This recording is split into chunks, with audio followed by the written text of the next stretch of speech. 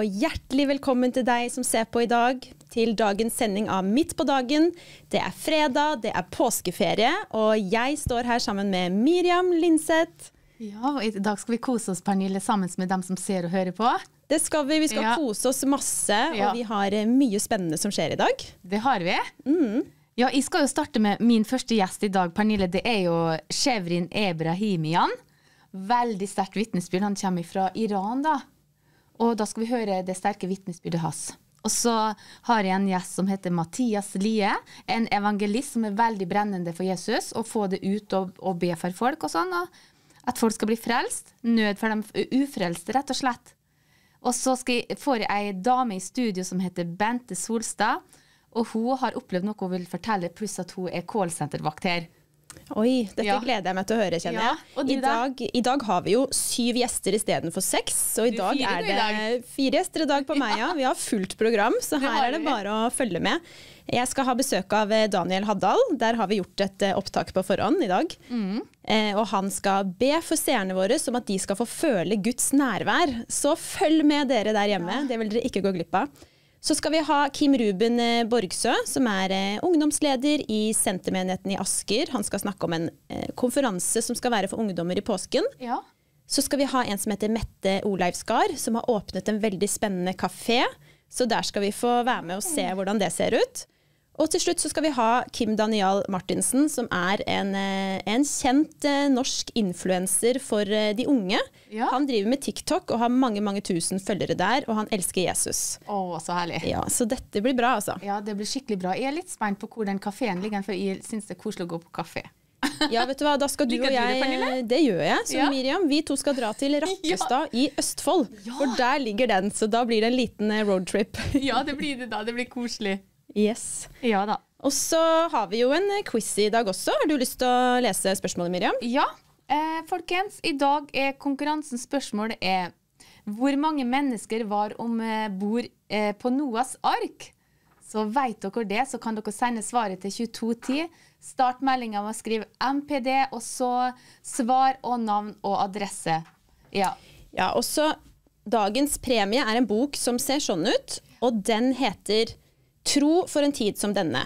Og denne boken fikk jeg i gave av mine besteforeldre for mange år siden. De kjøpte rett og slett denne boken til alle sine ti barnebarn, frelste og ufrelste, fordi her er det svar på en del vanskelige spørsmål som veldig mange lurer på når det kommer til tro. Eh, F.eks. de som tviler, agnostikere, kan få veldig mange spennende svar i denne boken. Så den, eh, den er bra. ja. Så den kan altså bli din hvis du er med på konkurransen i dag. Vi skal ha trekning i slutten av programmet. Og du trenger ikke absolutt skrive adresse og navnet til deg sjøl, men kanskje noen som du Kanskje barnebarnet ditt. Ja. kanskje noen som du ønsker skal få den boka i posten da, som en overraskelse. Og det som ofte skjer med den boken her, er at mange, som, eh, mange får en litt ny åpenbaring om at eh, wow, Gud fins. Ja. Så det er eh, mye spennende i den. Ja. Men, eh, men Miriam, nå er det jo påskeferie. Mm. Dette er siste arbeidsdag for meg i hvert fall. Men Ja. eh, du skal jo holde på på gjestegården. Hva skjer egentlig i påsken, Miriam? Ja, skal først, først, Pernille, så skal jeg jo ha mm, eh, midt på dagen både tirsdag og onsdag neste uke, da. Som vanlig. Ja, det er viktig. Ja, og så, men så begynner jo påskekonferansen på torsdag. Skjærtorsdag på kvelden. da, og Jeg vet ikke hvor mye detaljert jeg skal ta det nå, da, men i hvert fall så er det møte hver kveld klokka 18 i fire dager. Og så kommer jo Pernille. Du kommer på påskeaften. Jeg kommer på Da påskeaften, skal du dele noe, Pernille. Det skal jeg. Ja. Og jeg gleder meg til å være sammen med dere på Ja. gjestegården på selveste påskeaften. Ja, Ja. det blir så bra. Og så går det jo på TV, for dere som ikke kan, har mulighet til å komme, så vil alt eh, gå ut på TV, da. Så ja, så det er masse som skjer. Masse som skjer på Visjon Norge nå i påsken, så her er det bare å følge med. Har halling, hallingskarve òg, vet du. Det er jo ting som skjer der. òg. Ja, Skal det det filmes der òg? Nei, Nei, det blir ja, uten kamera. Uten kamera. Men uh, Om de tar opptak, det vet jeg ikke, da. Ja. Ja. jeg gleder meg i hvert fall til å høre hva som skjer der òg. Ja. Så Det er sant. det blir bra. Yes. Da har jeg med meg min første gjest, og jeg ønsker hjertelig, hjertelig velkommen til Shevrin Ebrahimian. Tusen takk, Miriam. Hyggelig Ja. Ja, så hyggelig. Hvor, men hvor kommer du fra, Shevrin? Jeg kommer fra Iran. Fra Iran, ja. Og når kom du til Norge? Ja. Det var da jeg var 13 år. Og Ja, til- det er altså 38 år siden, for nå er jeg 51. Ja, jeg skjønner. Ja. Eh, men eh, hvordan var livet ditt før du tok imot Jesus? Nei, eh, vi kom jo eh, til Norge da jeg var 13 år. Det var eh, I Iran så ble det jo en revolusjon i 79, og islamister tok over makten. Og så, og så ble det krig med Irak i tillegg. Så alt var egentlig kaos i mitt liv. Eh, Vi hadde, hadde egentlig veldig godt barndom eh, før alt dette, men så ble det kaotisk. Og, og så tenkte mine foreldre at vi må få, eh, at vi må få eh, han ut, altså meg ut, fordi at eh, de hadde satt grenser på, på unge gutter å forlate landet på 14 år. Fordi de brukte unge gutter i krigen, faktisk. Det var veldig kjent at Iran brukte Og de sendte de fram eh, for å gå på miner og baneveier. Så, så det var derfor vi Da jeg var 13 år, så kom vi til Tyrkia. Eh, Det var jeg og min mor først, og så kom vi da til Norge. Og i Norge det var veldig tøft for som 13-åring å komme til et nytt land. Det var, det var ikke så lett, for jeg hadde ikke helt funnet meg sjøl. Og, og eh, egentlig hadde mista litt tryggheten også i hjemmet og pga. alt det som skjedde. Så, så det var egentlig veldig tøft. Men jeg kunne ikke få trøst hjemme heller av mine foreldre. For de hadde det tøft sjøl. Pga. at de, de forlot alt og kom til et nytt land. Og så Derfor så jeg gikk egentlig bært det sjøl helt, til- helt til jeg var 18 år. Så uh, fullførte jeg videregående skole. Og, og egentlig så levde jeg ganske riktig eh, sånn sett. Og, men da jeg var 18 år, så ble jeg kjent med et narkomiljø i Kristiansand. Eh, Det var der eh, vi bodde. Og for første gang så ble jeg liksom inkludert, og jeg kjente en tilhørighet. Og alt det tomheten som jeg hadde liksom Akkurat som jeg fikk liksom en, eh, en eh, endelig et sted hvor jeg kjente meg hjemme. og Det var mange kule kunstnere og kule folk i Kristiansand, musikere. Og, og det begynte veldig uskyldig med, med hasj og sånn eh, litt her og der, men så ble det bare verre og verre og verre. Så helt faktisk jeg var 29, og det begynte da jeg var 18. Og det, det, i 11 år så, så var jeg Jeg ble faktisk en rusmisbruker, og, og det livet mitt ble bare verre og verre. Og til slutt, så når jeg var 29, så eh, hadde jeg egentlig ikke lyst til å leve mer. Jeg hadde prøvd alt. Jeg var eh, søkt egentlig islamske guden, og jeg søkte egentlig inn i hinduisme, buddhisme. Jeg hadde til og med reist til Nepal. Eh, eh, var der i fire måneder for å liksom se om det var noe med buddhisme. Jeg søkte etter Gud, egentlig, men, men eh, jeg fant han ikke noen vei. Og jeg hadde ikke hørt om Jesus eh, egentlig eh, noe særlig. Og, og så, så var det da jeg tenkte jeg vil ikke leve mer.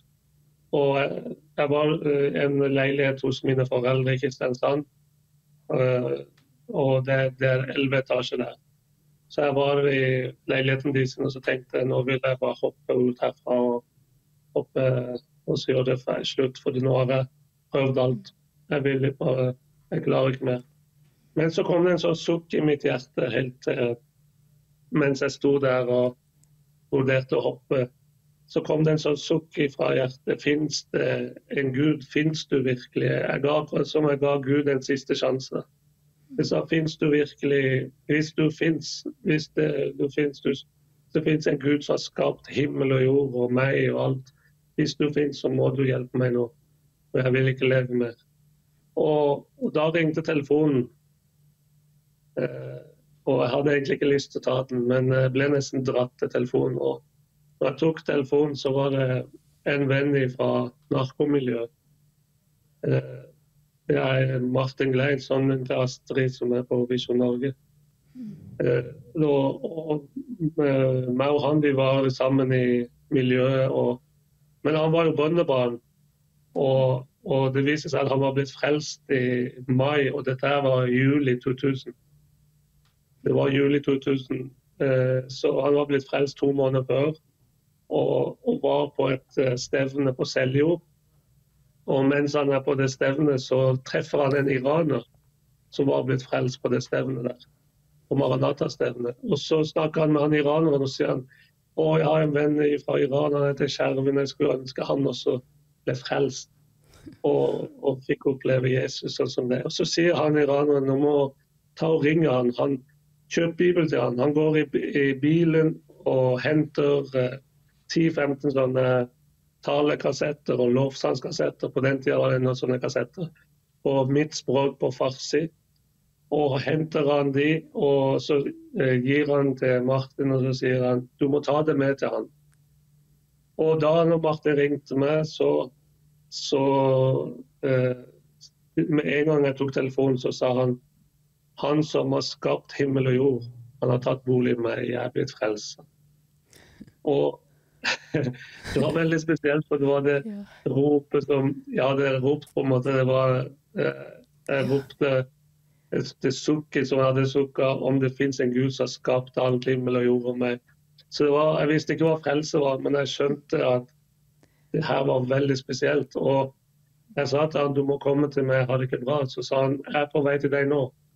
Han lurte på, han visste jeg var hos mine foreldre, så lurte han på om jeg, han kunne komme da. Så han kom til meg ikke lenge etterpå med en bibel og en bibelordbok. Eh, og så de her kassettene. Og han satt på en kassett. Og for første gang i mitt liv så fikk jeg høre en lovsang på mitt språk. Eh, det var faktisk eh, Åge Samuelsen sin sang 'Å Jesus, du som fyller alt i alle', som var oversatt til farsi. For han som oversatte, han ble martyr senere, men han var flere ganger i Norge. og han ble faktisk eh, årsaken til vekkelsen som har pågått i Iran i, i over 20 år. Eh, og så, så hørte jeg på eh, det, og så hørte jeg på en tale, og jeg kjente Guds nærvær. Jeg kjente en fred som fylte rommet. Og jeg husker jeg satt sånn eh, i ærefrykt, og, jeg- eh, og jeg så at det hadde skjedd noe med Martin. Jeg kunne se på han at eh, det har skjedd en forandring. Og så spurte han om jeg ville være med på et møte. To dager etterpå så ble jeg med han på et møte på et Maranata-møte i Arendal. Og eh, de sier at eh, det er noen som sier du må ikke ta med en muslim narkoman til Maranata-møte. for det blir for heavy. Men eh, takk og lov, det var så herlig. Ja. Eh, vi må aldri begrense Gud. og Det er det vi trenger, det er det alle trenger. Det er Den hellige ånd og åndens verk, åndens kraft. og Du må ikke sette lokk på tunge tall og alle, alt. For når jeg kom inn der, så var det herlig abba-rop, og det var, det var herlig eh, fryd. Og, og, så, og han som talte, han talte rett inn i mitt liv. Ola Dalen, han er hos Herren nå. Ja. Han talte rett inn i mitt liv. Alt han sa, bare traff mitt hjerte. Og mens jeg satt der, så eh, ble jeg fylt med tro. Og det står troen kommer av hørelsen.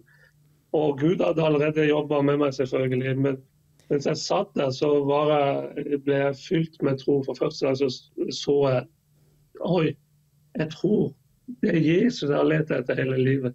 Jeg skjønte det med en gang jeg ble fylt med eh, fred eh, som aldri opplevd før. Jeg ble fylt med Guds kjærlighet for første gang i mitt liv. Og så når jeg kom ut fra det møtet, så sa jeg 'jeg tror, jeg tror'. Og jeg var så glad jeg hoppa. Og, og jeg ble momentant satt fri fra islam og fra eh, narkotika, og til og med vanlige sigaretter. Så derfor jeg pleier å si eh, Det er derfor jeg er så dobbelt så glad for jeg ble fri både fra islam og narkotika. Derfor så, eh, og det her er eh, som sagt er over 22 år siden. Det var juli 2000. Ja. Å, så sterkt og så rørende. Så da fant du eh, Da fant du det som du hadde leta etter hele tida, egentlig Jesus. Du fant den. Ja, det var, jeg skjønte det var Jesus egentlig jeg hadde lett etter hele livet. Ja. Den tomheten den tomheten. Og, og, men i etterkant, når jeg tok imot Jesus, så viste Herren meg faktisk at han hadde sendt eh, noen på min vei likevel. Men jeg var jo så jeg var jo så rusa og så borte vekk at jeg husker ikke Men jeg husker etter at jeg ble frelst, eh, noen år etterpå faktisk, så kom plutselig så så jeg Det var bl.a. en gang Det var to-tre år før, uh, før, jeg ble frelst. Uh, det var sånn en musikkfestival i Kristiansand. Og så vi, vi, vi, pleide å være der og, og, og gjemme stoff og sånne ting der. Og, mm. og så Vi pleide å komme der noen dager før. og og så, så, var det noen kristne ungdommer som var der i området. Jeg skulle be på området, for det skulle være noen satanister som skulle komme og ha eh, på den festivalen. Og så traff de oss, og så husker jeg at det var ei ung jente som kom bort til meg skjelvende. For vi så jo ikke ut og hadde ikke sovet på mange dager, skitne og fæle. Så kom hun og vitna om Jesus til meg. Og jeg bare sa ja, ja, ja, det er det samme. Alle. Men hun sådde noe. Ja. Ikke sant? Hun sådde ja, Guds ord. Hun sådde noe, vet du. Det gjorde hun virkelig. Ja, men Kjevrin, vi må nærme avslutte her nå. ja, ja, fint. det er bare sånne korte intervju her på midt på dagen, vet du. Men, å, du kunne okay, hatt hele okay, programmet, du, egentlig. yes. Ja, men Kjevrin, det var veldig rørende og veldig sterkt, og du får komme tilbake og dele mer, vet du. Men vi ses i kveld ja. på bønneprogrammet òg, da. ja, det gjør vi. Ja, tusen takk. Ha det bra. Ja. Og nå er vi klare for vår neste gjest, og det er eh, Kim Ruben Borgsø. Velkommen til deg. Hei, tusen takk for at eh, jeg får være med på intervjuet. Kjempe, ja, Kjempehyggelig å ha deg med. Kim Ruben, du er jo ungdomsleder i Sentermenigheten i Asker. Ja, det stemmer. Der har jeg vært nå i snart tre år. Ja, så bra. Og vi skal jo snakke litt om en konferanse dere har. Men først, kan ikke du fortelle litt eh, kort om deg selv først? Ja, ehm, jeg er eh, oppvokst i Sverige. Jeg har norske foreldre, men eh, er som sagt oppvokst i Sverige, da, i Uppsala. Så flytta jeg til Norge for eh, to og et halvt år siden cirka, snart tre år, og begynte å studere teologi. Så jeg fullfører mitt bachelorløp i teologi nå til sommeren. Og så jobber jeg som ungdomsleder i Sentermenigheten i Asker også, så det har jeg gjort nå i snart tre år. Veldig spennende. Men hvordan er det egentlig å være ungdomsleder? Hva er det som er så bra med det? Du, det er veldig mye som er bra med å være ungdomsleder. Eh, ikke minst at man kanskje får bety noe for eh, ungdommenes hverdag. Eh, ungdommer bærer på mye forskjellige utfordringer eh, nå for tida. og Det var ikke lenge siden jeg selv var ungdom, så jeg, så jeg kan på en måte relatere litt til hva det er de går igjennom, samtidig som, som jeg også har blitt eldre og, og, tider forandrer seg.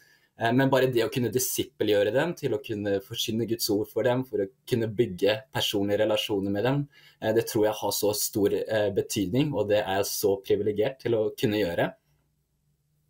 Kjempebra. Og, men dette ungdomsopplegget i Sentermenigheten, hvordan er ungdomsarbeidet i denne menigheten til vanlig?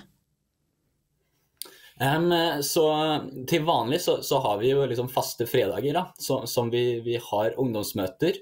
Um, så da er det liksom klokka syv som er fast tid som vi har ungdomsmøter, og da er det eh, møte med lovsang og, og forkynnelse, og så har vi aktiviteter og fellesskap, da.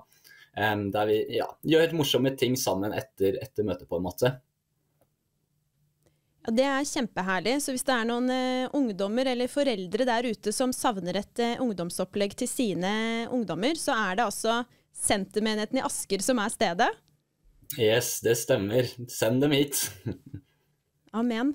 Men uh, dere skal jo ha en ungdomskonferanse nå i påsken. Fortell om den. Ja, um, vi har en ungdomskonferanse nå i påskehelgen.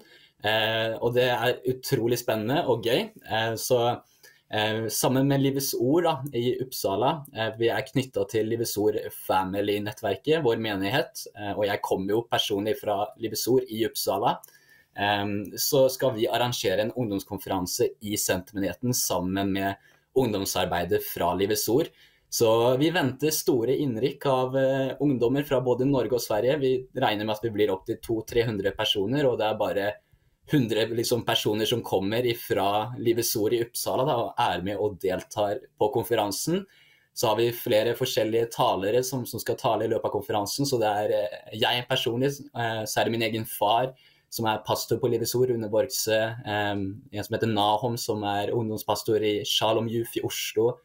Så har vi med vår egen pastor Raymond og en som heter Kenofi Terfa, som er ungdomspastor borte på Livets Ord. da. Og så er liksom Temaet for konferansen er resurrection. så Det handler om å løfte opp eh, navnet Jesus, ikke minst, og hans oppstandelse. Og den oppstandelseskraften da, eh, som, som eh, vi kan få oppleve gjennom å, å være Jesu følgere og disipler. Dette er kjempestort, og jeg bare kjenner at jeg har skikkelig tro for denne konferansen. Håper eh, mange har meldt seg på og fortsetter å gjøre det, for det er ikke for sent. Hva kan de gjøre, de som sitter der hjemme og har lyst til å være med på dette her? Det de kan gjøre, er at de kan gå inn på, på vår Instagram, eh, Sentermenigheten Youth. og Der så har vi en link i vår bio. der liksom vi har lagt en eh, link på, til check-in, der påmeldingen skjer. og Da kan man melde seg på matpass. Nå er det sånn at overnattingen eh, har vi stengt, eh, så, den påmeldingsfristen har gått ut. Eh, men man kan fortsatt melde seg på matpass. og vi er, som sagt, Hvis ikke folk har muligheten til å melde seg på, så ikke minst bare kom. Møtene er gratis. Så, så, få med deg det du kan, hvis ikke du kan være med hele konferansen. For vi tror virkelig at dette her kommer til å bli en veldig bra konferanse. Og, og en, ja, vi, vi har store, store forventninger, altså. Vi, vi har det. Og så kan man også gå inn på Sentermenigheten sin egen nettside, sentermenigheten.no. Så står også informasjon der om konferansen. Så bra. Så det er altså overnatting er fullt, men det er mulig å komme på dagtid. Så da håper jeg mange gjør det. Og så kjenner jeg at jeg gleder meg til å høre om dette i ettertid. For dette er, eh, dette er stort når flere hundre ungdommer kommer sammen på denne måten. Og Gud har store planer for de unge. Så dette blir eh, veldig sterkt. Amen. Ja, vi tror på det. At Gud skal komme og møte disse ungdommene. Så sendes også, eh, hvis man ikke har mulighet til å møte på plass, så sendes det også på Visjon Sverige, alle møtene. Så, så følg med der, eh, hvis ikke man har mulighet til, til, å være på plass. Ja, Så bra du sa det. Da får vi det på TV også. Det er kjempebra. Men da vet du hva, da vil jeg bare ønske deg masse lykke til med denne konferansen. Og tusen takk for at du var med her i dag, eh, Kim Ruben. Takk for det. Ha en fin dag videre, du også. Takk. Da skal jeg ønske hjertelig velkommen til Mathias Lie. Er det der, Mathias? Der er det jo at det er så flott at ja, ja. du kunne være med oss her en dag. Og du bor i eh, Bergen? Jeg bor på Karmøy. Å, Karmøy, ja. Ja, men jeg er voksen opp på Sotra, på Li på Sotra. Ja, sånn var det. Ja. Sånn var det. Og vi går rett på sak, Mathias. Jeg, ja. håper, det, håper, du har en litt kort versjon. Hvordan møtte du Jesus? Ja, jeg, når jeg var en liten gutt, eh, så hadde Mor hadde jo eh, Jeg vokste opp med, med Guds ord helt siden jeg kom ut av mors liv. Og eh, mor hadde søndagsskole hjemme i Støvå i 40 år. Så vi vokste opp med å høre Jesus og synge om Jesus. og lære Jesus å kjenne. Men eh, når jeg ble en eh, ti-tolv år, så bestemte jeg meg at jeg måtte få meg en bibel, og jeg måtte høre Jeg bestemte meg å følge Jesus, og det var et veldig viktig standpunkt. Ja. Og siden har du fulgt Jesus? Ja, siden har jeg fulgt Jesus. Ja. I tjukt og tynt, i både i sykdom og i glede og i sorg og i alt går jeg til Herren. Ja, Sånn skal det være. Men hvordan ja. er det, hvordan kan de ufrelste som ser og hører på nå, bli frelst? Ja, Har du et bibelvers, eksempel? Ja. Ja. De, først, må de, først, må, først, må de, komme inn under hørelsen. Det er det som er viktig, at de må, må høre ordet. Mm. At ordet får komme ned i hjertet. Men så sier, så sier Herren i Johannes evangeliet 1,12.: Men alle som tok imot, eller tar imot, ham. De gav ham rett til å bli Guds barn, de som tror på navnet hans. Jeg må mm. ta imot Jesus, høre Jesus, lese om han i Guds ordet, be til han og bli kjent med han. Da blir det nesten et vennskap mellom mann, nesten mann og kone. Ja. Amen. Så, så sterkt. Så det er for alle. Hæ? Det er for alle. Ja, det er for Ja. alle mennesker. Alle han elsker. Det står jo der at han elsker oss med en evig kjærlighet. Han elsker oss, og derfor skal vi feire nå i påske. Han døde for oss på korset. Det var for deg han døde, og for meg han døde. Det var derfor han hang på korset. Og så sto han opp igjen tredje dagen, og så sitter han ved Guds høyre hånd og ber for deg og meg, og bare venter på at du skal ta imot han og si ja til han. Sterkt. Eh, Mathias, det er mange mennesker som eh, eh, lytter til her i dag, som har det vanskelig, som har det tungt, som har det tøft på forskjellige måter. Kan ikke du Ja. be for dem? Jo da, jeg har et, jeg har et, eh, et, et, et gudsord til deg òg, som står i Matteus 11, 28. Så sier Herren til deg og meg, kom til meg, alle som strever og har tungt å bære, og jeg vil gi deg hvile, sier han i ordet sitt. Matteus 11, 28. Og jeg vil be for alle som er syke, og alle som strever og tungt å bære. Jeg vil si først til deg, gå til Jesus med det. Jeg måtte kaste alt på Herren. Jeg måtte bare kaste det på Herren. Herre, nå må du ta det ifra meg, Herre. Å, Herre, må du komme inn i hjertet mitt, Herre. Må du fylle meg med din ånd og kraft, Herre. Tilgi mine synder, Herre.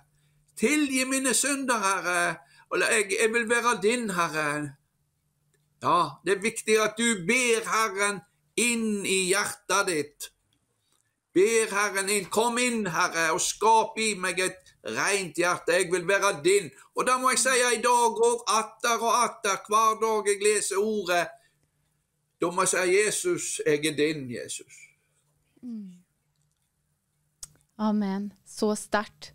Eh, Mathias, har du noe helt på slutten her som du ønsker å formidle?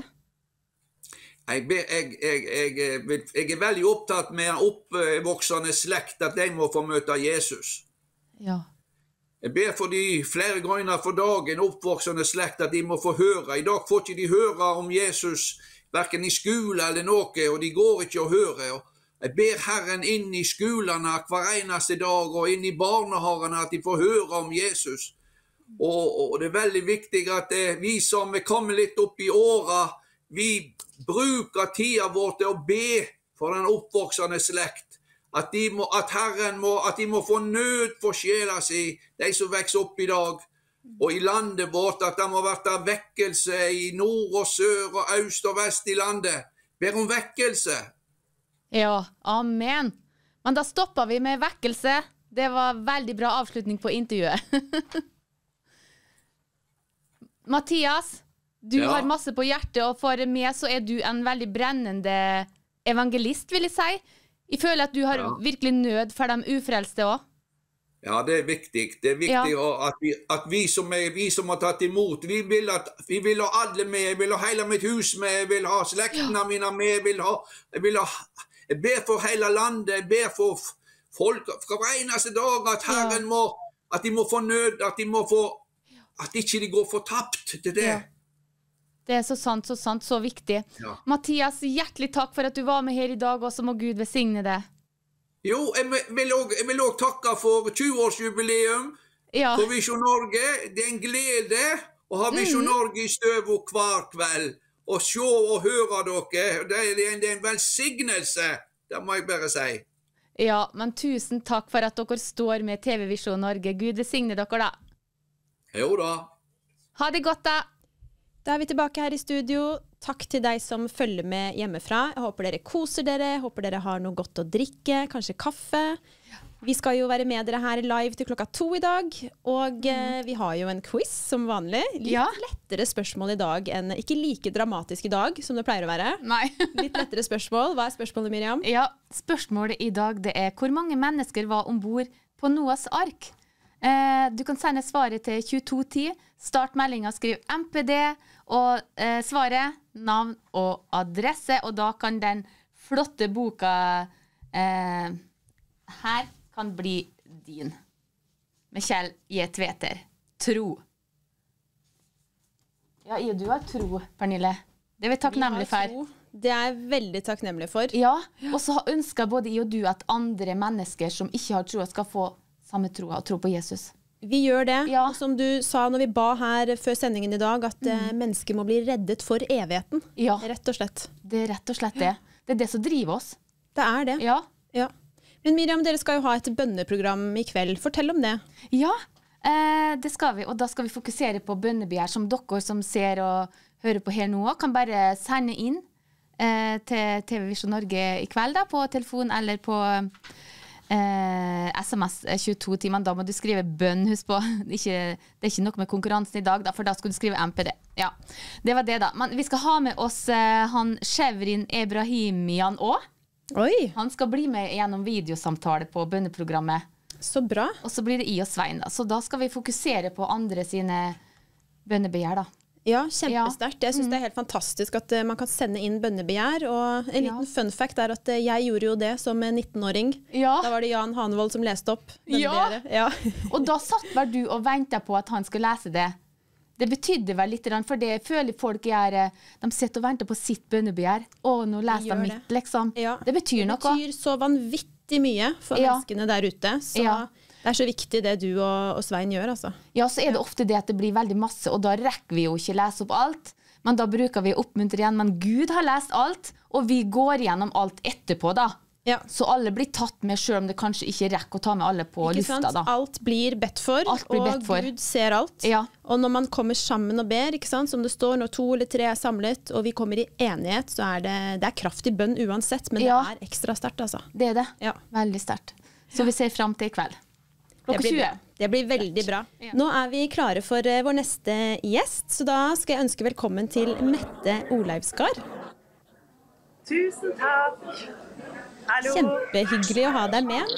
Em, Mette, du bor jo i Rakkestad. Du er engasjert i menigheten Betania. Og så har du nylig åpnet en veldig spennende kafé som heter Gatesalongen, som vi skal snakke mer om eh, og få se litt fra her i dag. Ja. Der ser vi, vi ser kafeen i bakgrunnen allerede. Ja. Men kan ikke du starte med å fortelle litt om deg selv, eh, Mette? Jo, det kan jeg gjøre. Nå er det en del prat i bakgrunnen her, så jeg tar en tur utafor så lenge. Skal vi se om.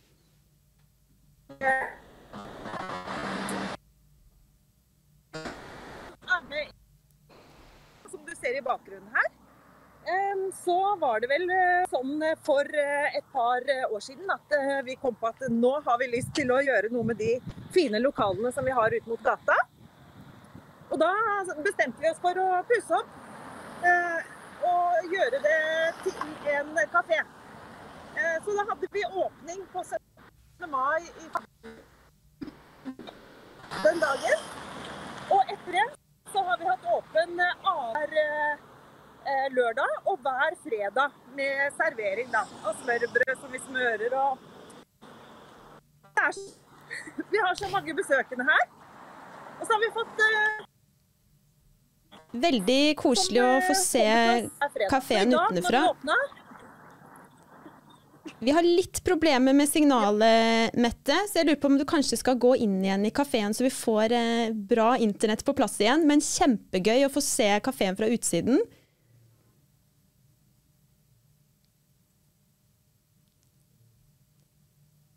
Da har vi litt eh, tekniske problemer her. Skal vi vente vi til internett blir eh, bra igjen for deg, Mette?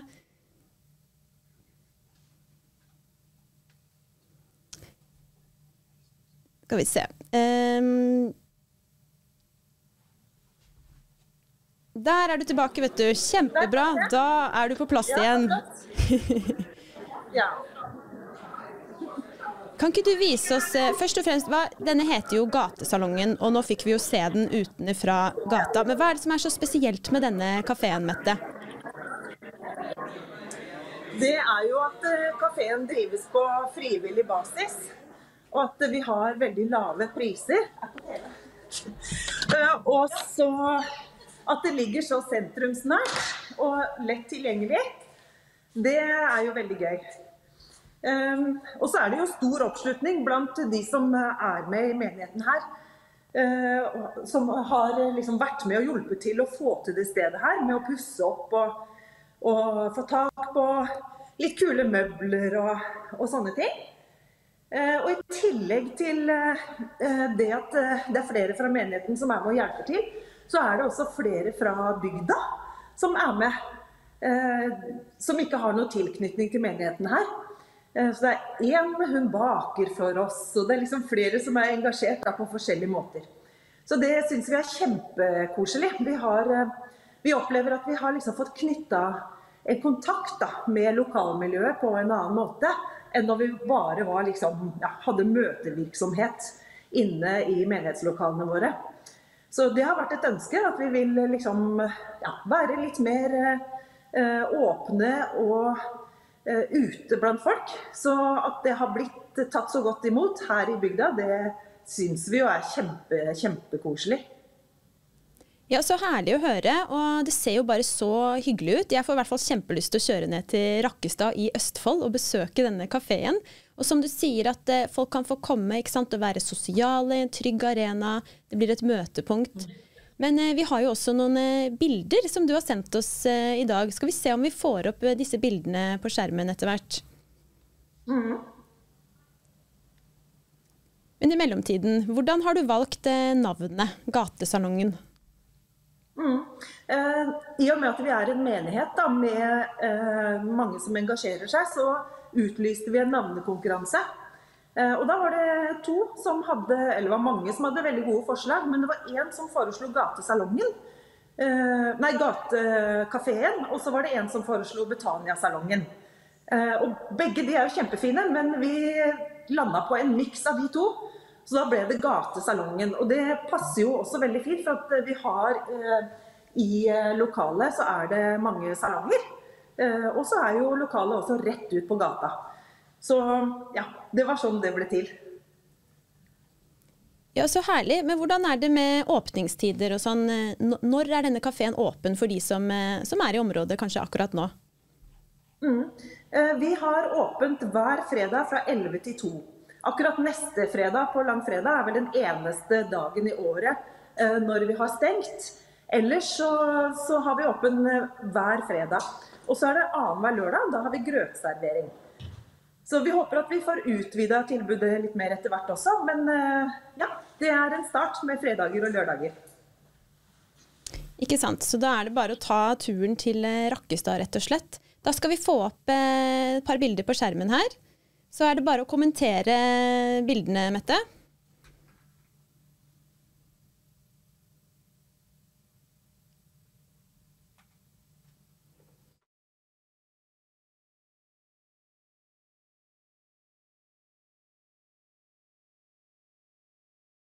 Og så har vi jo, som jeg nevnte, da, en som eh, eh, har jobba i bakeri, en fra bygda her, som baker for oss. Eh, deilig wienerbrød og andre ting. Så det er litt av menyen vår, ja, som du ser der. Det ser jo kjempelekkert ut, rett og slett. Skal vi se om vi får opp eh, enda et bilde?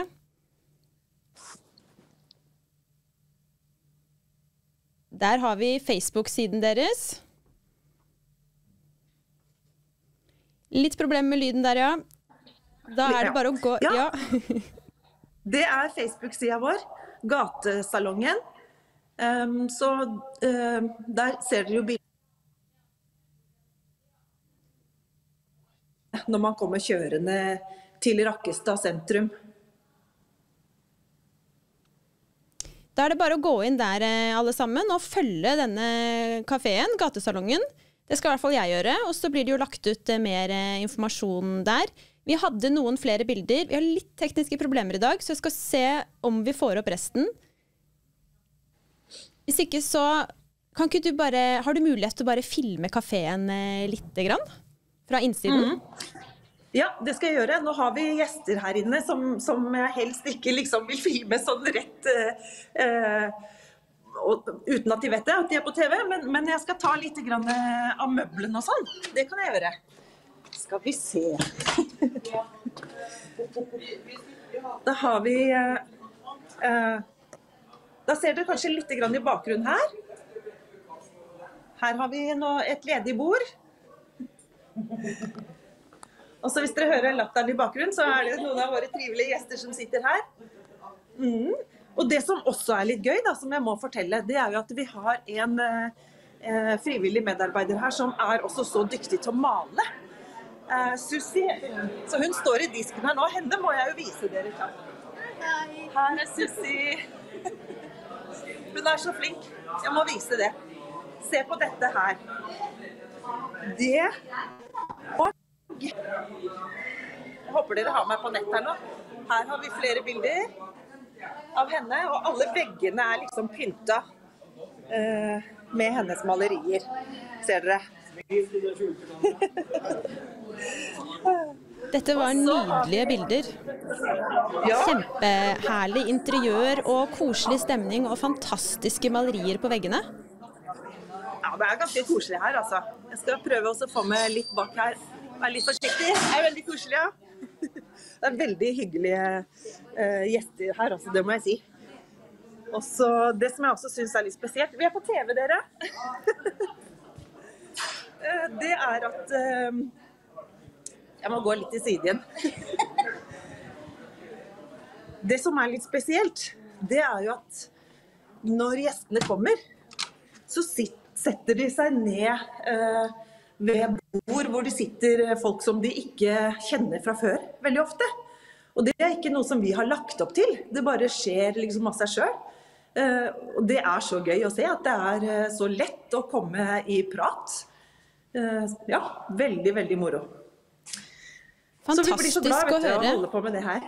Ja, fantastisk. Og ja, da er det bare å ta turen til gatesalongen for de som også har lyst på nye venner og kanskje er litt ensomme. Så er det herlig at eh, man setter seg med folk man ikke kjenner og blir kjent. Så eh, nå løper tiden litt fra oss, dessverre. Men vet du hva? tusen hjertelig takk til deg, Mette Olavsgaard, for at du var med og viste oss denne kafeen. Kjempegøy å se, og lykke til videre. Tusen takk. Ha det. Da har jeg med meg Bente Solstad, som bor Nå sto det stille. Hvor bor du igjen, Bente? Holmestrand. Holmestrand var det, vet du. Bente, Ja. hvordan møtte du Jesus? Ja, det skal jeg fortelle. Jeg vokste opp ved Farrisvannet i barndomshjemmet.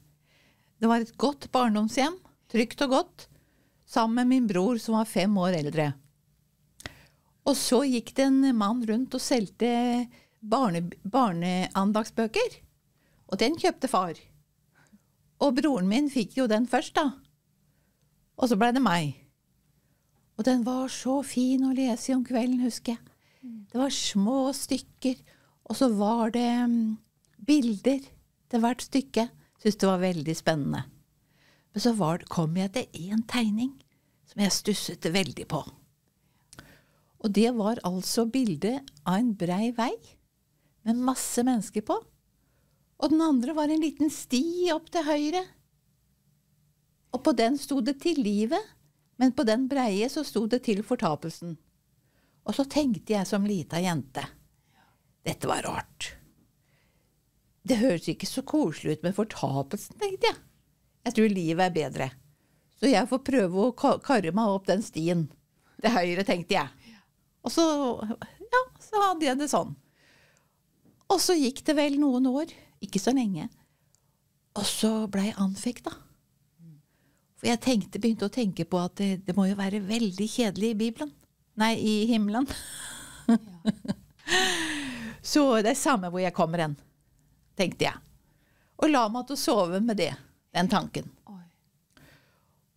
Og så våkner jeg om morgenen av en stemme. Vil du heller være på det andre stedet da? Åh, jeg blei så redd. Jeg skjønte det var Gud. Nei, sa jeg. Det gjør ikke noe om det blir kjedelig, det er bare jeg kommer dit, sa jeg. Og tenkte aldri mer på det. Og så um, Ja. Får jeg jernteppe nå? Ja, ja, det, nei, men det går så bra. Ja, men ja, Så da valgte du det stedet, da, selv om det var kjedelig. Så på en måte tok du mot Jesus da? Ja, det blei sånn. Ja, det ble sånn? Ja. det var en veldig spesiell og interessant måte, for det er forskjellige måter. Ja. Ja, det er veldig interessant. Og så um, gikk jeg barnepleien i Porsgrunn. Ja. Og så eh, Og så fikk jeg jobb på en barnehage i Oslo. Ja. Og det passa jo veldig flott, for det var på babystua Ja. fra de var fire måneder. Ja. Og da um, blei det slått sammen to barnehaver. For det var to søstre som drev hver sin. Og på sommeren, da. For da var det jo få unger. Og vi voksne, vi fikk seks ukers ferie. Og vi syntes det var fantastisk. ja. ja. Og når jeg satt i barnehagen der, så lengta jeg tilbake til Porsgrunn. Ja. Og så um, ja. Ja, jeg skjønner. Men Og så tenkte jeg at eh, Men så ordna jo det seg, vet du. Ja. For jeg hadde jo fire uker. da. Jeg tenkte å ta fire uker og jobbe i Porsgrunn, og så to ukers ferie. Og så skrev jeg på forsommeren opp til lederen der. Ja da, jeg kunne komme. Så det gjorde jeg i flere år. Ja. Men så var det ett år jeg ikke hørte noe. Oi, tenkte jeg. Nå er det slutt. Og så kom jeg kjørende med bil fra Kristiansand i slutten av juni. Nærma meg Porsgrunn. Og så hører jeg stemmen. Kjør oppom Porsgrunn sykehus. Nei, det er jo ikke noe vits i, tenkte jeg. Det er jo ikke noe jobb der. Men den stemmen kom tre ganger til meg. Ja. Og skjønte jeg det var Herren. ja. Amen. Jeg kjører opp til Porsgrunn sykehus. Parkerer utafor, men jeg følte meg så dum. Da gikk jeg opp alle trappene og bortover korridoren. Så ikke et menneske på fødeavdelingen. Og så kom jeg bort til vaktgruppa der, da, og så sto det litt ei dame der som jeg aldri hadde sett før. Så glaner hun på meg, og så sier hun Er det for et menneske? Er det noen som skal ha vakter? Nei, det er vel nok her i år. Det er nettopp det det ikke er. Kan du begynne i morgen? Å, så sterkt! Ja, sa jeg. Jeg var jo så glad at det. Så jeg rakk jo ikke hjem. Jeg, jeg overnatta hos tanta og onkelen min og begynte klokka syv neste morgen. Det var skikkelig sterkt, Bente. Ja, ikke sant? Ja, men du har hatt en opplevelse òg. Nei, det er dette, det. Det var opplevelsen. Ja, men så, Den var veldig artig og sterk opplevelse, Bente. Sånn er Gud. Ja. Ja, Og du var lydig på den stemmen som kom tre ganger. For når Gud ville si meg, sånn Ja. jeg merka ellers i livet òg, hvis Gud Ja. vil fortelle meg noe som er viktig, Ja, så sier han det tre ganger. ja. Så flott også.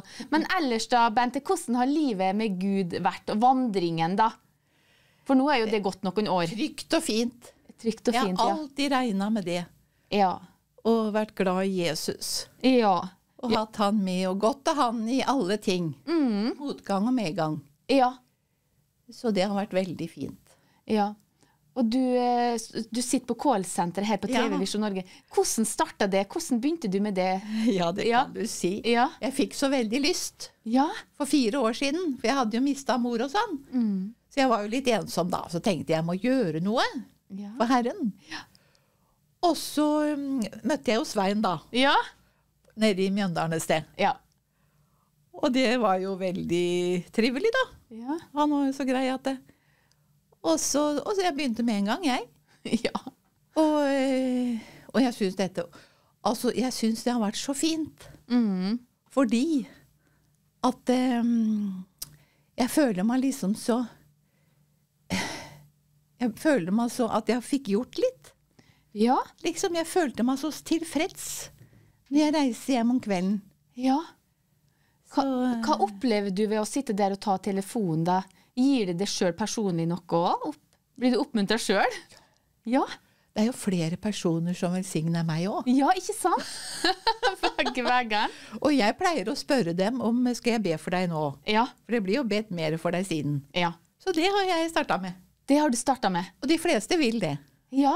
ja, men det er vel det er vel en god følelse, Bente. Å få. Ja, det er det, altså. Ja. Så jeg føler jeg har fått brukt meg og er veldig takknemlig Ja. for at jeg kom hit, da. ja, men så flott, da. Og håper jeg kan fortsette litt innimellom, da. Ja. ja, men det er veldig hyggelig, Bente. Ja. Ja. Nei, men Bente, tusen takk for at du ville komme hit i dag. Det setter jeg virkelig stor pris på. Og jeg takker også. Ja.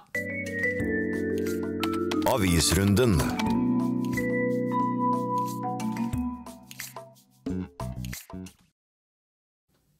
Ja, da er vi tilbake på studio, og vi er kommet til avisrunden, Pernille. Det er alltid noe, alltid noe nytt. Det er det. Det er en av mine favoritter å stå her og lese avisen med deg. Det er jo Ja. kjempehyggelig. Det er kjempehyggelig. Og vi har jo selvfølgelig hver vår papiravis. Det har vi. Det er så koselig. Det er jo veldig koselig å kunne bla i en fysisk avis. Ja, det er helt sant, det. Eh, skal jeg ta min først? Gjør det. Ja. Eh, jeg har om eh, fengselspredikanten Jan Eriksen i eh, Norge i dag. Skal lese litt, da. Det er veldig sterkt, da. Fengselspredikanten Jan Eriksen reiser verden rundt, forkynner påskens frihetsbudskap til fangene. Fengselsevangelist Jan Eriksen var i Romania i januar og i Tsjekkia i februar. Han samarbeider med de lokale kristne polit politigruppene. De står for alt det praktiske med kjøring, eh, organisering og avtaler med fengslene. Fengselspredikanten fremfor noen forteller at eh, responsen var fantastisk, og fangene som åpner eh, hjertet for påskens budskap om frelse og forsoning, blir fulgt opp av de lokale kristne menighetene både i Tsjekkia og Romania. Og det er jo bare så sterkt at de blir fulgt opp etterpå. Det er så flott. Eh, ja. Det var det, vet du. Så det kan dere lese mer om da, altså, i Norge i dag. Og det er jo så viktig det med å gå inn i fengsler. Det er noe jeg har lyst til selv òg. Gå inn i et eh, kvinnefengsel og, og bare Ja. forkynne til dem. Ja. De trenger det, de som sitter der. De gjør sånn. virkelig det, sånn som sto her, og at de åpner sine hjerter Ja. for budskapet. De er jo så åpne. Så det, Ja. det må vi få gjort. Mm. Ok, da skal jeg lese en artikkel her. Skal vi se om jeg får vise den fram. Der har vi den. Og dette handler om eh, en eh, lovsangskonferanse som heter Lovsang 23. Det er altså lovsangspastor i Imi-kirken i Stavanger, Øystein Øvergård, som skriver her at eh, det er de som har arrangert den, tror jeg, IMI, men det er mange menigheter som har kommet sammen. Og det med å ha fokus på lovsang på denne måten, det syns jeg er kjempeviktig. For det er åh, det behager eh, Den hellige ånd skikkelig, dette Ja. med lovsang. Og vi bare får Guds rike nært til oss. Ja. Da skal jeg lese litt her. Eh, med mye over 500 deltakere ble Lovsang 23 en gedigen suksess. Datoen for neste gang er allerede satt. Ok, Det er tydelig at vi har en sterk lovsangsbevegelse i Norge. Ved mange av landets bibelskoler er det en sterk satsing på lovsang som egen linje. Ja, det er kjempebra. Det vet jeg jo de har på IMI, IMI, eh, IMI sin bibelskole i Stavanger. Så har de egen lovsangslinje. Og de har jo så mye bra musikk som man kan Ja. søke opp. Det er Akta lovsangskole. OK, skal vi se. Ja, så Her kommer de sammen for en egen konferanse. Denne ble holdt eh, i OKS sine lokaler 24. mars. Norge i dag besøkte selvfølgelig konferansen. Stemningen var elektrisk, står det her. Så er det noen som sier her eh, Gud har ikke latt oss være igjen som foreldreløse barn, og når vi lovsynger sammen med menigheten, så kan Gud forandre liv. Eh, til og med om vi synger falskt. Ja, amen. Her er det bare å synge med, uansett hvilken stemme du har. Gud vil salve og utruste dem som er i tjeneste for ham. Ja. Nei, Ja. Det er kjempebra. Ja. Jeg har uh, veldig lyst til å dra på en sånn konferanse selv, så jeg håper det kommer uh, igjen. ja, det har jeg lyst til sjøl. Ja, Ja. Ja, men da skal du snart ha eh, Kim Daniel. Kim Daniel Martinsen, en Ja. kjent tiktoker, så følg med dere. Han kommer snart. Velkommen tilbake i studio. Nå er vi klare for eh, en veldig spennende gjest som heter Kim Daniel Martinsen. Velkommen til deg. Hei, hei. Så hyggelig at du Hei, er hei. med oss i dag. Kim Daniel, du, er jo, du har TikTok med over, nesten 70 000 følgere. Og du elsker Mhm. Jesus. Kan ikke du starte med å fortelle, fortelle litt om deg selv til seerne våre? Jeg er Kim Daniel, er 30 år. Um, bor i Gjøvik og brenner virkelig for Jesus. Det er herlig. Men uh, hvordan, uh, hvordan var det du ble frelst, eh, Kim Daniel? Jeg pleier alltid å si at det er sånn to, seks, uh, to historier. Eh, og det ene, som kort forklart, er liksom da jeg fikk en profeti angående broren min. For da jeg var 13 år, så fikk jeg en profeti. Jeg visste ikke hva profeti var da, men eh, ettersom jeg har på en måte Ja. Så har jeg på en måte skjønt at det var en profeti. At han kom til å bli født hørselshemmet, altså døv. Og seks måneder senere, da han ble født, så ble det bekreftet. Eh, men det var ikke før når Gud virkelig tok uh, og reddet meg fra 15 år fra spiseforstyrrelser, jeg virkelig tenkte at nå, nå må jeg virkelig gå all in for Jesus. Jeg må skaffe meg en menighet, jeg må lese i Bibelen. Uh, og liksom virkelig vie meg for Jesus. Uh, og det var da i 2015.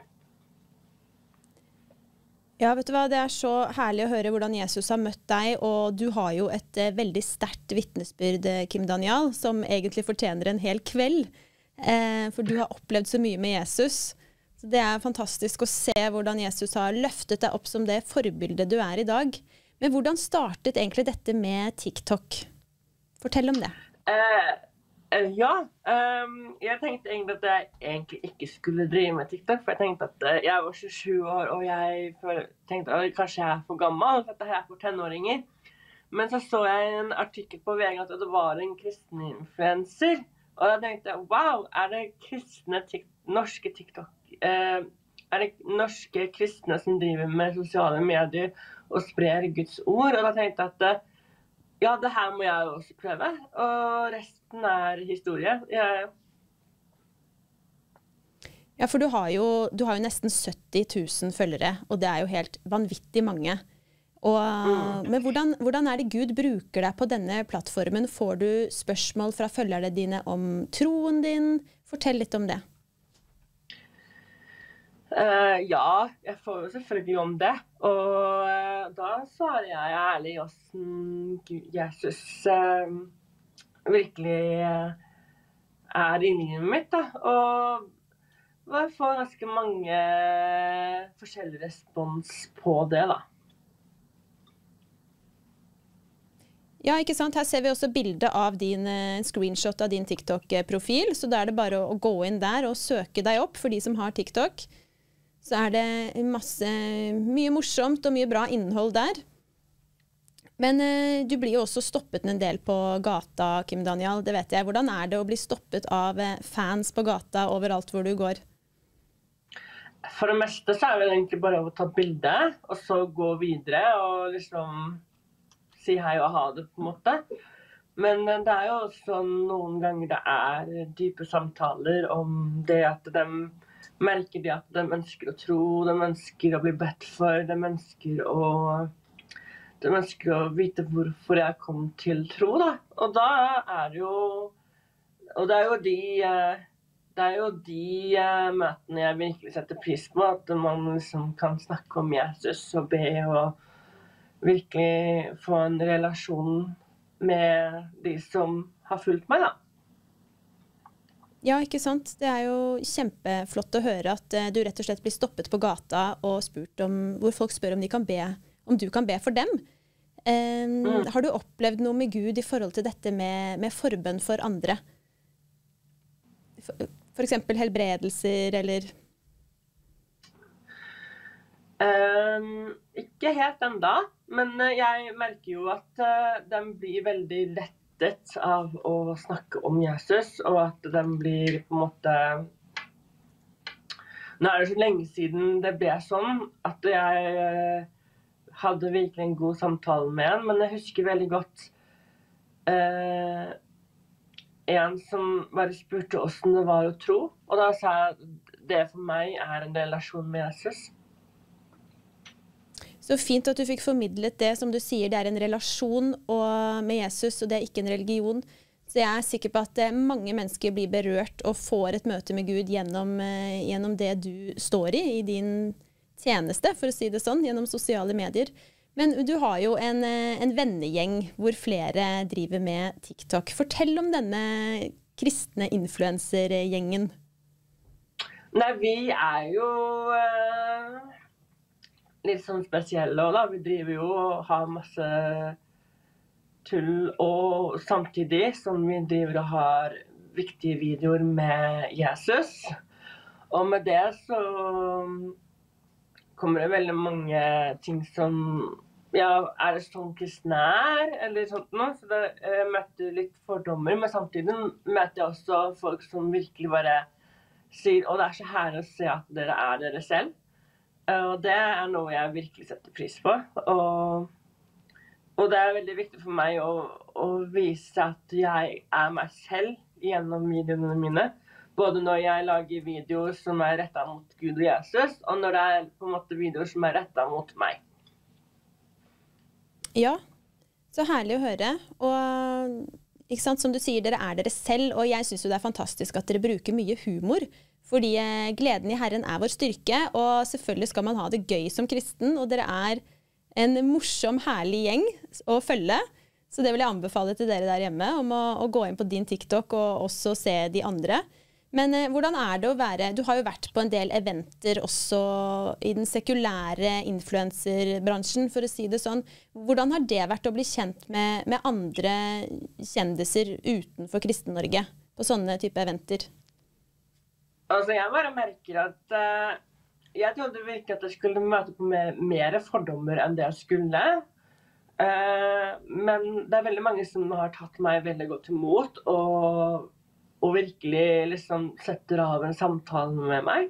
Og, og andre i gjengen. Så det, jeg syns det er veldig hyggelig. Og uh, de er jo veldig sånn at uh, de skal jo drikke litt alkohol i tillegg. Da, så da blir det sånn at man uh, snakker med dem når de er fulle.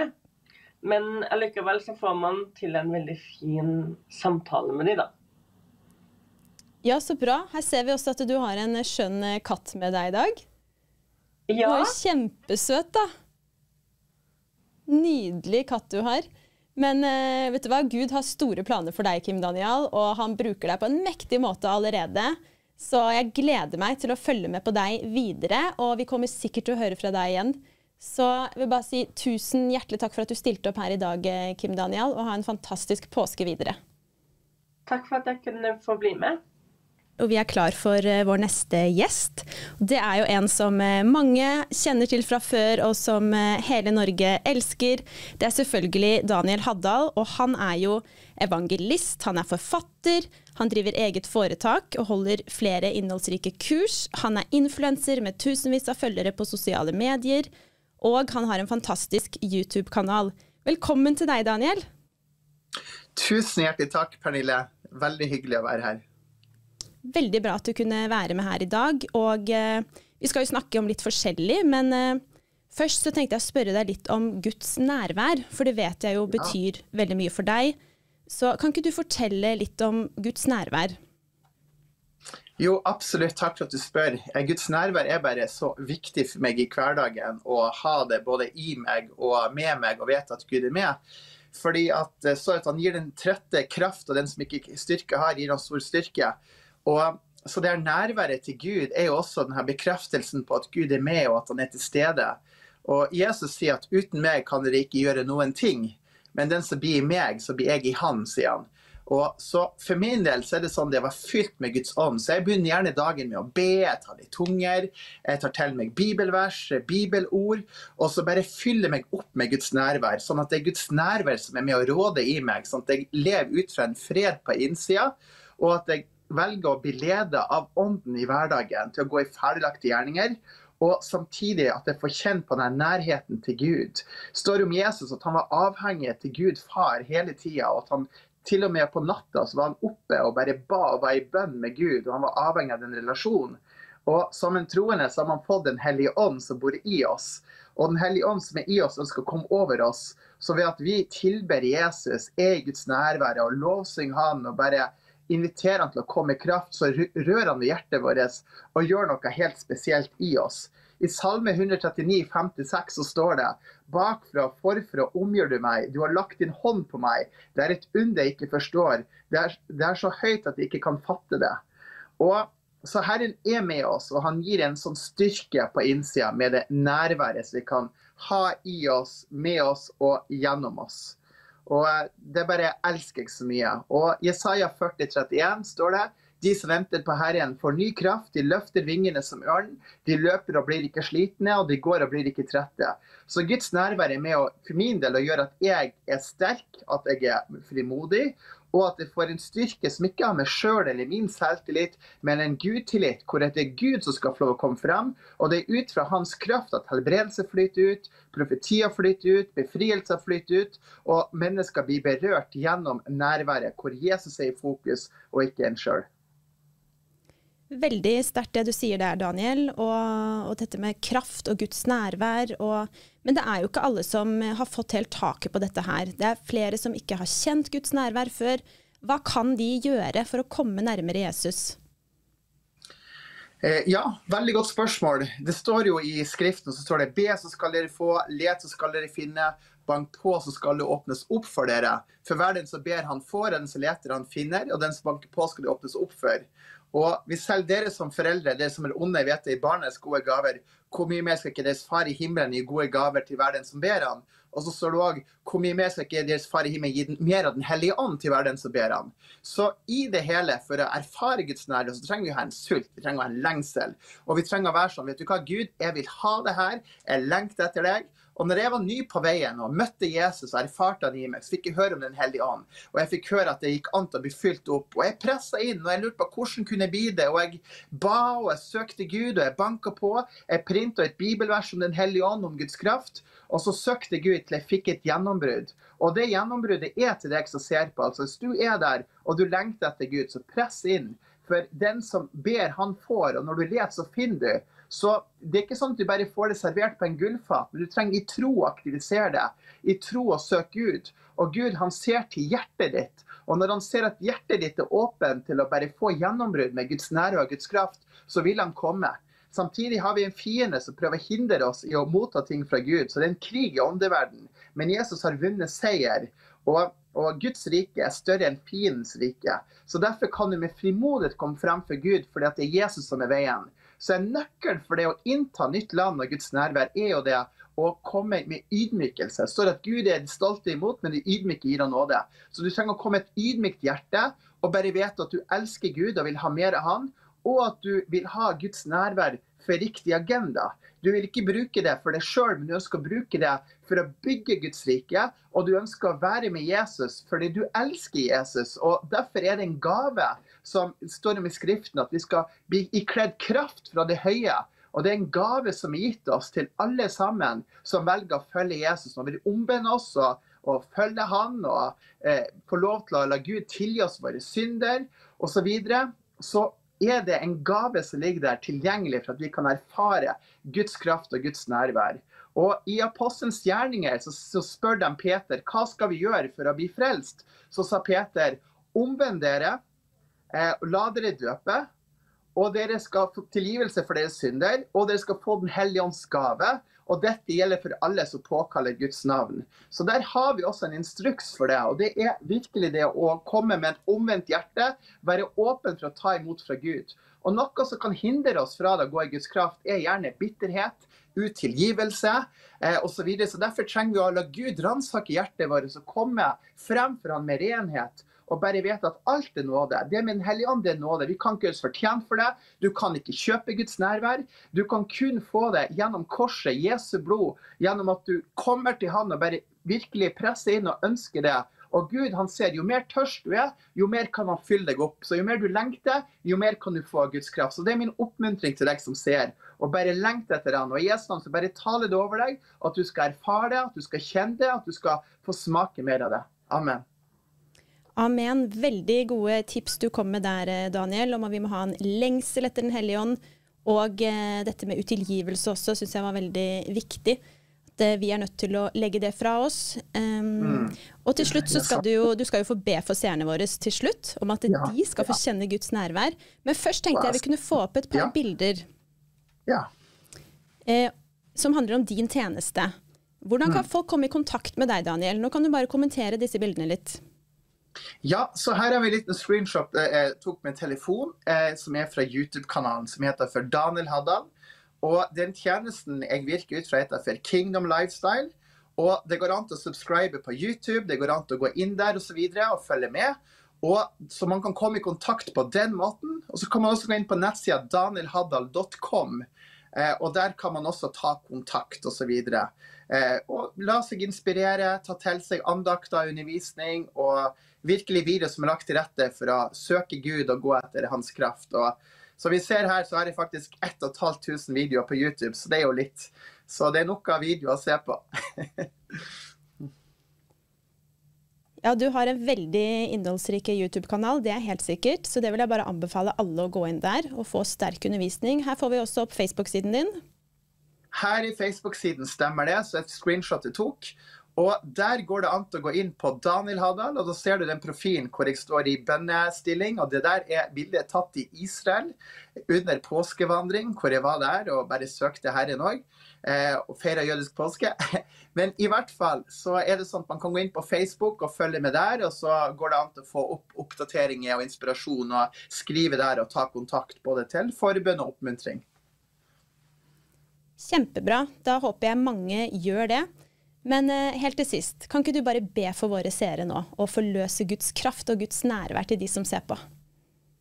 Absolutt, det kan jeg gjøre, Pernille. Og takk for at du spør om det. Og det ligger virkelig på Guds hjerte å forløse sin kraft. Herren er nær hver den som påkaller ham. Det står for Sønnen frigjort dere, da blir dere virkelig fri. Og der skatten vår er, jeg vil også hjertet vårt være. Så vi skal få lov å koble på Herren, koble på friheten i Jesus. Så nå skal jeg be. Nå ser jeg på deg som ber. Jeg bare taler ut, jeg ser inn i kamera, og jeg bare velsigner deg i Jesu navn. Jeg taler at du skal være sulten etter Gud, lengt etter Herren, og i det mektige navnet Jesus så ber jeg om at du skal få lov å erfare Guds nærvær. Helligånd er invitert til å komme til de tusener hjem, tenne folk i brann. Kom over dem, la dem bli døpt i Den hellige ånd. La dem få lov å oppleve pinsekraften, Herre, med tungetale og med styrke og forløsning. Og så bare ber jeg òg, Herre, om en lengsel og mer enn Hellig ånd, og at de som ser på, skal få lov å kjenne Guds nærvær, føle Guds nærvær, føle Guds frihet, og få lov å kjenne hvordan Gud bare rører ved hver enkelt. Så jeg velsigner deg i Jesu navn, at du skal erfare Guds kraft og kjenne hvordan Gud bare går dypt i hjertet ditt og rører ved hjertet ditt, og hvordan du er omslutta av Hans kjærlighet hele tida. I Jeremia 29,11 står det, for jeg vet hvilke tanker jeg har med dere, sier Herren, fredstanker og ikke ulykkestanker. Jeg vil gi dere framtid og håp. Gud ønsker å gi deg håp. Gud ønsker å gi deg kraft og styrke, og du skal få legge bak det som har vært det som har vært vanskelig, og sånt, og strekk deg etter det som ligger foran. Strekk deg etter Jesus, for Jesus er med deg. Og når Gud er for deg, hvem kan da være imot deg? Så jeg velsigner deg i Jesu navn, og jeg ber om legedom og styrke, helbredelse, gjenopprettelse og frihet. Og, og du skal erfare Guds kraft, bli tent i brann og virkelig komme inn i den dimensjonen som Gud har for deg, med alle de planene han har for deg, men alt han ønsker å forløse gjennom deg, og at du skal få lov å kjenne at Gud er nær. Og i Jesu navn så ber jeg også for helbredelse for de som ser på migrene, eh, vondt i nakken, helbredelse i håndledd, knær, psoriasis, diabetes. Jeg taler helbredelse i det mektige navnet Jesus, og jeg taler fred i hjertet ditt. Jeg taler styrke over deg, og at du skal få kjenne Guds kraft og Guds fred og at du skal få en motivasjon til å presse inn, til å innta mer av Guds rike. For Guds rike er kommet nær deg. Vær velsigna i Jesus, Jeshua sitt mektige navn. Amen. Amen. Takk, Jesus. Det var kraft i den bønnen der, det kjente jeg. Og det kommer til å berøre mange som ser på. Så da vil jeg bare si tusen takk til deg, Daniel Haddal, for at du var med her i dag. Jo, takk, Pernille. Fint å være med i lag med dere her på midt på dagen. Tusen takk. Nå nærmer vi oss slutten av programmet. Ja, og vi har jo hatt trekning nå. Det har vi. Vi har Ja. jo hatt en eh, konkurranse i dag, selvfølgelig. Og så må vi jo også huske å dele svaret. Ja, det må Hvor vi. mange mennesker var det om bord på Noahs ark? Det var åtte. Åtte, ja. Ja. Så har vi trukket en vinner, Ja, og det er eh, Ruth fra Ulset. Gratulerer til deg, Ruth. Du vinner denne fantastiske boken. ja. Og hva kan de gjøre, de som ikke vant, da? Ja, dere som ikke vant boka her, dere kan eh, kjøpe den her på TV Visjon Norge på webshoppen, vet du. Så da er det bare til å ta kontakt eh, eh, før klokka tre i dag, eller over helga. Eller på nettet, da. Går òg an. Så du har flere muligheter å få tak i den, da. Så det er en veldig bra bok, tror jeg. Absolutt. Mm. Og så må vi ønske alle en eh, fantastisk påskeferie òg. Nå er det påske, og så må dere følge med på Visjon Norge. Og i morgen er det Oslo Live med Liv som programleder. Mm. Sterke vitnesbyrd der. Mm, og i kveld, selvfølgelig. Ja, i kveld er det bønneprogrammet, ja. Så vær med der, og vær med å be for andre der ute. Det er så fint når alle folk, vi hører folk vi møter på vår vei. Ja, vi er med og ber når dere har bønneprogram. Ja, ikke sant? Det er veldig fint. Veldig, veldig fint. det er jo flere som ber, vet du.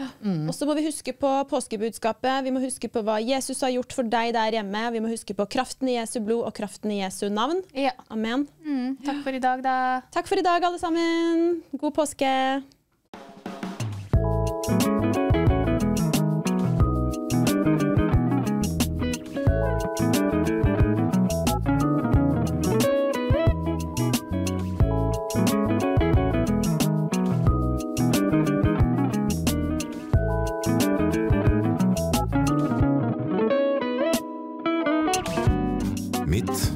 Dagen.